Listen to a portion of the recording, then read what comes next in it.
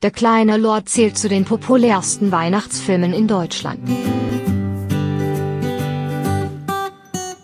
Als Cedric Fauntleroy begeistert Ricky Schröder jedes Jahr erneut die Zuschauer.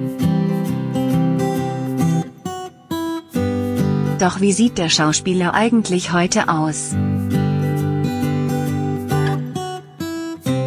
Die Antwort geben wir hier.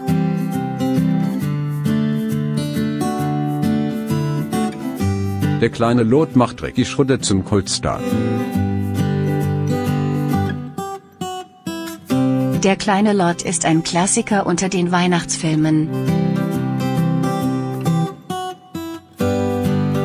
Darin erobert ein kleiner Junge das Herz seines verbitterten alten Großvaters. Gespielt wurde der kleine Lord von Schauspieler Ricky Schroder. Der ist mittlerweile 48 Jahre alt, trägt Bart und hat nicht mehr ganz so blonde Haare wie früher. Auch in den Jahrzehnten nach der kleine Lord arbeitete der ehemalige Kinderstar immer wieder als Schauspieler.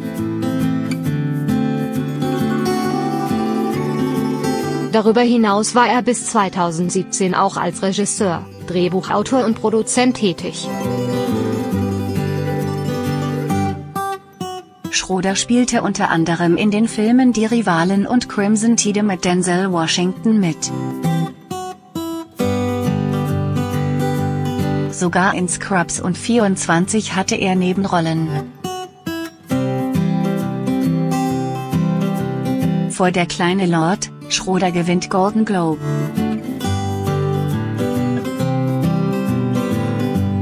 Der Erfolg in jungen Jahren hat Ricky Schroder zum Glück nicht, wie viele andere Kinderstars, von seiner Karriere abgehalten. Bis heute ist Schroder sogar noch der jüngste Schauspieler, der einen Golden Globe erhielt, damals war er neun Jahre alt. Den bekam er allerdings nicht für seinen Auftritt als der kleine Lord, sondern für sein Leinwanddebüt der Champ.